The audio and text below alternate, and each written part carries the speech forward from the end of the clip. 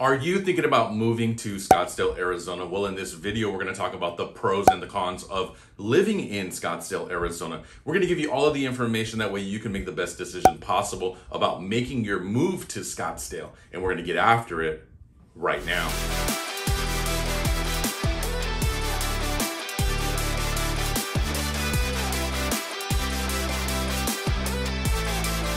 Well, if this is your first time to the channel and you want to know everything about living in Phoenix, Arizona and the surrounding cities, just like Scottsdale, then go ahead and tap that subscribe button. Also, don't forget to hit that notification bell. That way you could be the first ones to know about the current market here in Phoenix. Hi guys, my name is Mark Melendez. I'm a real estate professional here in Phoenix, Arizona. And if you're thinking about making a move to the Phoenix area, then let's chat. Give me a call, shoot me a text, send me an email, or schedule a Zoom call with me. All of my information is in the description below. Well, just like I said in the intro, we're going to talk about the pros and cons of living in Scottsdale. So let's jump right into the topic. Okay, so let's talk about the negative first, all right? So we're going to talk about the cons. First up is the heat. It's extremely hot in Phoenix, Arizona. In fact, the hottest day on record was 122 degrees back in June of 1990. In the summer of 2020, there was a record 34 days of 110 plus degree heat. So the heat can be absolutely excruciating and very miserable. The only thing to do in the summer really is to stay indoors. Number two on that list, let's talk about the water. So the southwest region of the United States is in a mega drought. Water levels at Lake Mead and at Lake Powell are very low. Some experts say it's going to take about 10 plus years of above average snowfall in the high regions just to replenish those lake reservoirs. Also, the water quality is very poor. A lot of homes need to put in water softeners since the water is so hard. What ends up happening when you have hard water, it dries your skin out. So the water here in Arizona is drinkable, but the quality is pretty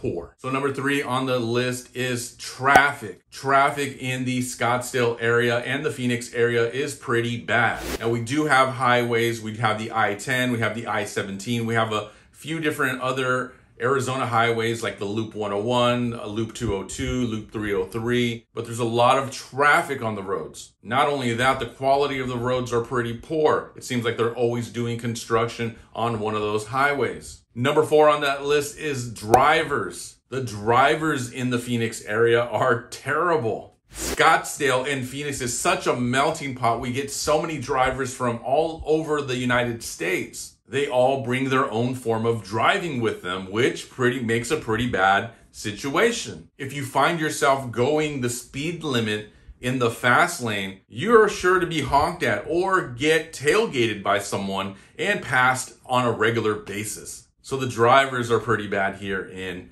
Scottsdale and Phoenix, Arizona. Next up on the list is the pests and the critters. We live in a desert. We have desert insects like scorpions, black widows, wolf spiders, those things just to name a few. The scorpions really scare the heck out of people, especially if they're not used to seeing them. Other animals that can be a, a nuisance to you would be the javelinas. In essence, a javelina is just basically a desert boar. A lot of times they come up to your property, they eat your grass, they eat your uh, flowers, they eat your crops if you're growing anything. And just right above that, we have coyotes and bobcats. So a lot of times you would need to protect your pets if you're going to keep them outdoors. Now this is more or less a problem on the outskirts of town, closer to the mountain areas, but it is a problem. We must share our habitat with them because it's their habitat as well. So next on the list is the housing costs. Housing costs in Scottsdale are a little bit on the higher side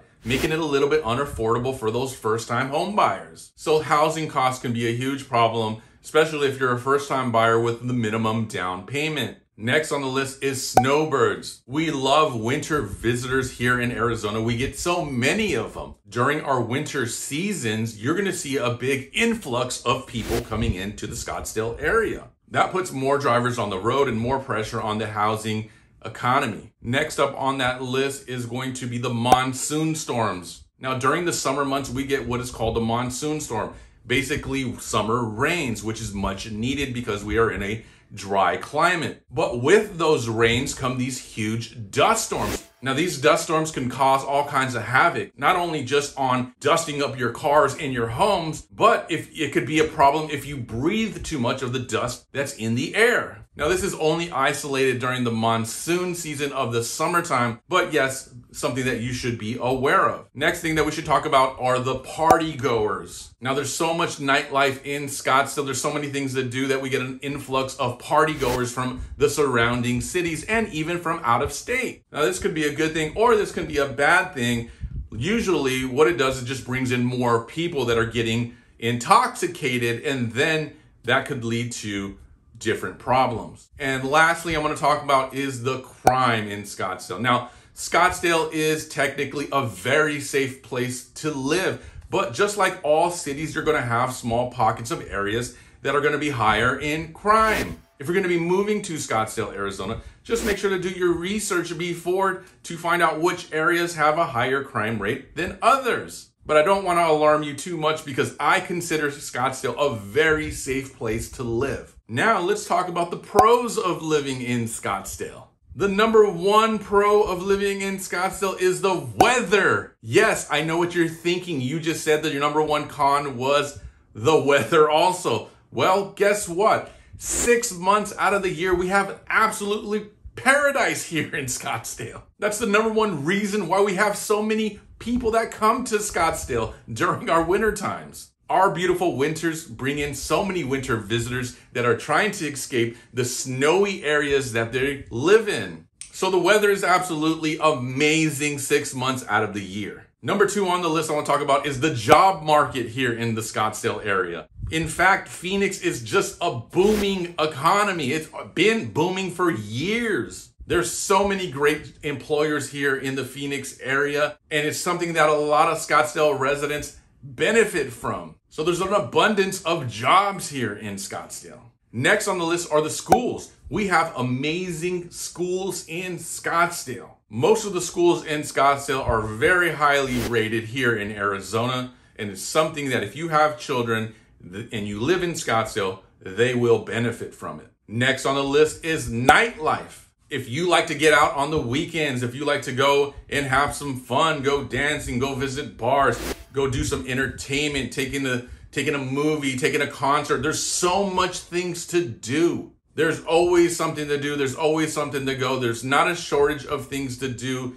Nightlife entertainment is super high on that list. Next on that list is the property taxes. Property taxes in Scottsdale are some of the lower property taxes in the United States. They're not the lowest, but they're definitely going to be in that top category or top tier of low taxes. Folks moving from other states that have higher property taxes love the fact that our taxes are lower here in Scottsdale. Next on the list kind of goes hand in hand with the property taxes, which is the housing. There's so many great communities to live in Scottsdale. Scottsdale is one of the best cities to live in in the entire United States. You can find houses that are in great communities at the mid level and at the higher level. So there's a great amount of housing in Scottsdale. Next on the list is golf. If you're a golf fan, there's so many golf courses in Scottsdale. Most of those golf courses are on the upper echelon or on a higher tier of golf courses. We have amazing events just like the PGA Tour that comes here in Scottsdale,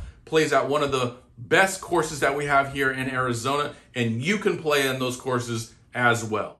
The next thing is the outdoor activities if you're someone that likes to get up and move around, well, you can do a lot of that here in Scottsdale. You have access to so many hiking trails, so many walking trails, biking trails, parks, so much different outdoor activities that you can take advantage of right here in Scottsdale. Next thing we should talk about are the hospitals in Scottsdale. Scottsdale has some of the highest rated hospitals in the country. We have two Mayo Clinic locations right here in Scottsdale. One's in Scottsdale, one is just right on the border of Scottsdale. Not only that, you have other hospital systems like Honor Health here that provide great top notch health care. So there's some amazing hospitals here in Scottsdale. And finally, if you're a Scottsdale resident, you can take advantage of a local local staycation. There's so many different resorts and spas here in Scottsdale. And during the summer months, when the rates are lower, that's a fantastic time. And that's when a lot of my fellow Arizona residents love to take advantage of the staycation. So the hotels and resorts aren't just for the travelers from out of state. We can take advantage of them here as well as Arizona residents. Well, overall, Scottsdale is an amazing place to live in